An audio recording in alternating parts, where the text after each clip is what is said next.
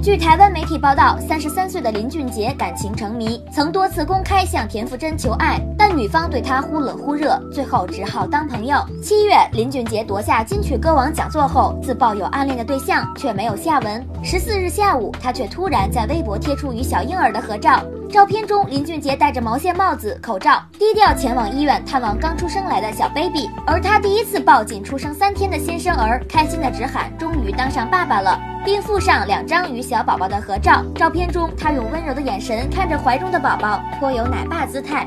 微博一出，吓坏一群粉丝，大家疯狂逼问：“孩子妈是谁呢？”